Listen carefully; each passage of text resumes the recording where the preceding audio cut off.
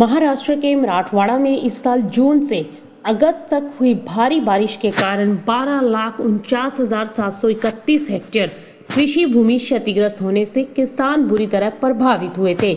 इस बीच सितंबर अक्टूबर में बार बार हुई भारी बारिश से किसानों की बची हुई फ़सलों का बड़े पैमाने पर नुकसान हुआ है।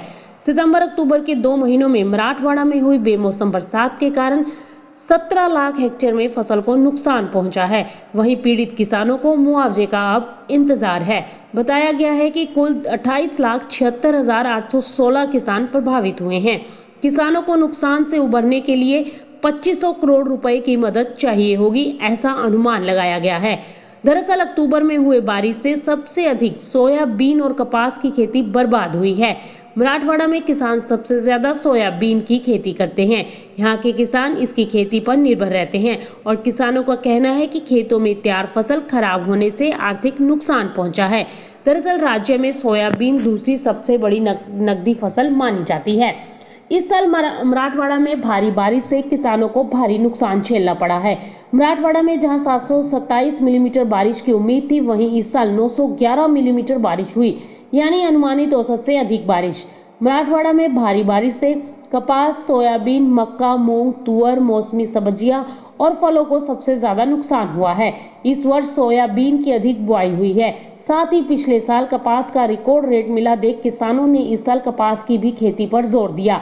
लेकिन जैसे ही सोयाबीन और कपास की कटाई का समय हुआ, वैसे ही अत्यधिक बारिश होने से तैयार फ़सल नष्ट हो गई। मराठवाड़ा में किसान सोयाबीन की खेती पर ज़्यादा निर्भर हैं। ऐसे फ़सल पानी डूब जाने से किसान आर्थिक संकट का सामना कर रहे हैं। इसीलिए किसान सरकार से पर्याप्त मदद की मांग कर रहे हैं। चलिए आपको बताते हैं कि किस ज़िले में कितना नुकसान हुआ। सबसे पहले बात औरंगाबाद की करें तो औरंगाबाद ज़िले में छह लाख उनासी हज़ार छप्पन किसानों की चार लाख तरतालीस हज़ार नौ सौ तरतालीस हेक्टेयर कृषि को नुकसान पहुँचा है। वहीं बीड़ ज़िले में सात लाख सतासी हज़ार सात सौ निन्यानवे किसानों की चार लाख अठहत्तर हज़ार तीन सौ सत्ताईस हेक्टेयर कृषि को नुकसान हुआ है।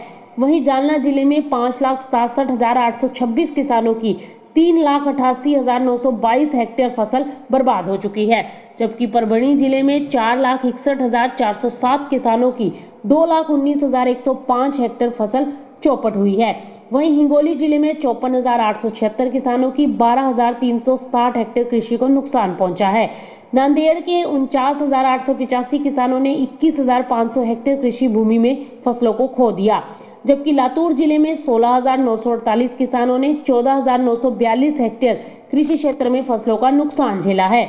वहीं उस्मानाबाद ज़िले में दो लाख उनसठ हज़ार उन्नीस किसानों की एक लाख इक्यानवे हज़ार पाँच सौ नवासी हेक्टेयर कृषि क्षतिग्रस्त हो गई है। ऐसे में किसान अब सरकार से पर्याप्त मदद की मांग कर रहे हैं। Bureau report, Market Times TV.